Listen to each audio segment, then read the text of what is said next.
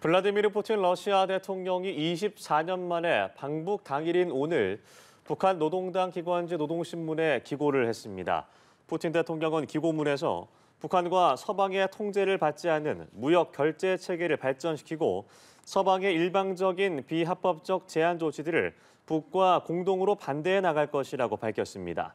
푸틴 대통령은 지난 70여 년간의 북러 역사를 되짚으며 최근 우크라이나 전쟁에서 북한이 러시아를 지지한 데 대한 고마움을 표했습니다.